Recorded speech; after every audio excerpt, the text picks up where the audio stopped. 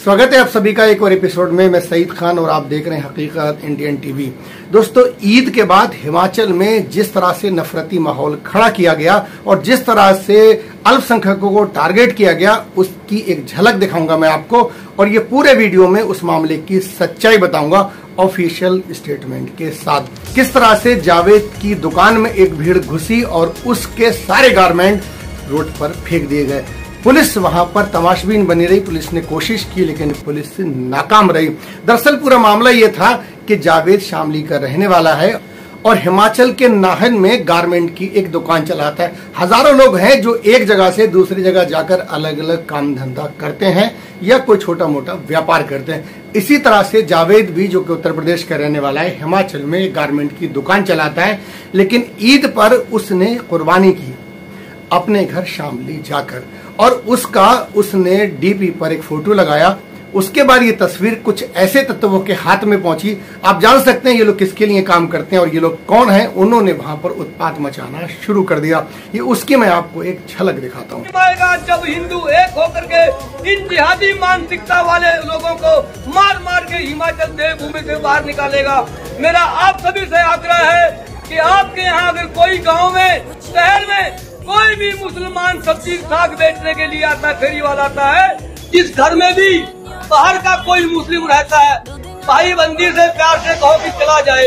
अगर नहीं जाता है तो मार मार के यहाँ से भगाइए।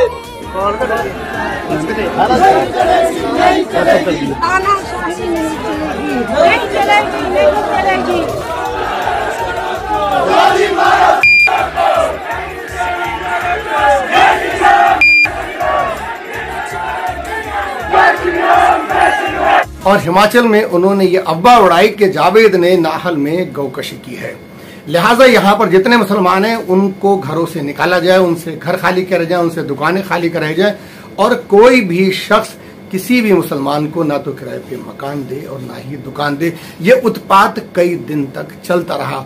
आज ऑफिशियल स्टेटमेंट आया है आज पुलिस ने ऑफिशियल स्टेटमेंट दिया है कि पूरा मामला क्या था। दरअसल उसने नाहल में कोई कुर्बानी नहीं की थी। उसने उत्तर प्रदेश में घर आके कुर्बानी की थी। उत्तर प्रदेश में भैंस की, बकरे की कुर्बानी की इजाज़त है। इस पर कोई ऑब्जेक्शन नहीं है।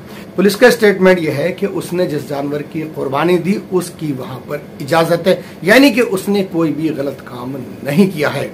ये आप पुलिस का ऑफिशियल स्टेटमेंट सुनिए। दिया गया है। जावेद नाम का एक व्यक्ति है जो जलालाबाद क्षेत्र का रहने वाला है।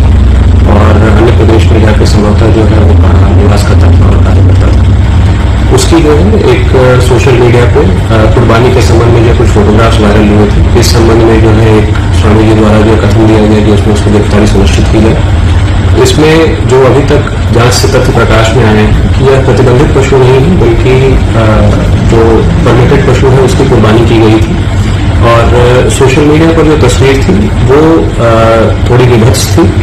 इस वजह से जो है सांप्रदायिक भावनाओं को भड़काने के संबंध में जो है, उस व्यक्ति के विरुद्ध अभियोग पंजीकृत किया गया है और सुसंगत धाराओं में अभियोग पंजीकृत करके थाना प्रभारी को तत्काल उसके विरुद्ध कार्रवाई हेतु निर्देशित यानी कि जो प्रोपेगेंडा वहाँ पर किया गया था, वो बिल्कुल झूठा था, बिल्कुल बेबुनियाद था। लेकिन एक समाज को टारगेट किया गया। कुछ लोगों का सिर्फ़ यही काम है कई दिन तक उन्हें कोई मौका नहीं मिले, वो परेशान हो जाते हैं कि अब हम क्या करेंगे? आखिर उन्हें किसी की डीपी पे एक तस्वीर मिल गई और उन्होंने उसकी दुकान के सारे कपड़े फेंक दिए, वहाँ पर उत्पाद मचाया और तमाम मुसलमानों को परेशान किया और नफरती स्टेटमेंट दी, ये भी जेएसआर के नारे लगाकर। आप इस वीडियो को दोबारा देखें, किस तरह के नफरती नारे लगाए जा रहे हैं और किस तरह से तमाम लोगों को वहाँ पर टारगेट किया जा रहा है। बहरहाल, अच्छी खबर यह है कि पुलिस ने आकर इसकी सफ़ाई पेश की है। अब अक्सर देखते होंगे इस तरह के मामले आपके सामने आते रहते हैं। आप सोचते हैं शायद ये सच्चाई है, लेकिन बाद में उसकी सच्चाई का पता लगता है। पता लगता है कि पूरा मामला फर्जी और झूठा था। और दूसरा ये कि इन्वेस्टिगेशन का काम पुलिस का है, ना कि पब्लिक का। पूरे समाज को टारगेट करने की। बल्कि ये जाँच का विषय, आप जाके थाने में कंप्लेंट नहीं किसी शख्स ने गलत किया है तो पुलिस उसके ऊपर कार्रवाई करेगी। पुलिस को पूरा हक है। बिना किसी सबूत के आप सामने आते हैं और तमाम लोगों को टारगेट करते हैं, नफरती रैली निकाली जाती है, नफरती भाषण दिए जाते हैं और तमाम मुसलमानों को टारगेट किया जाता है। यहाँ के जो नौजवान साथी है जो दूसरी संस्थाओं में है, हिंदू संस्थान से जुड़े हुए जो साथी है, उनसे भी और मुसलमानों से भी गुजारिश करूँगा कि नाहन के अंदर ऐसा माहौल ना बनाए कि जिससे आपस आपसदारी खराब हो। हम लोग नाहन के तमाम मुसलमान अपने देश के वफादार हैं और नाहन के मुसलमान हमेशा अपने हिंदू भाइयों इस वीडियो से आप ये अंदाज़ा लगा सकते हैं देश में किस तरह से नफरत की रोटियाँ सेकी जा रही हैं और किस तरह से एक वोट बैंक तैयार किया जाता है।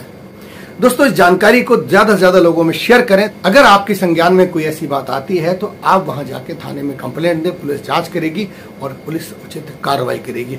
आपको बिल्कुल हक नहीं कि आप जाके किसी को टारगेट करें, किसी का नुकसान करें, किसी का कारोबार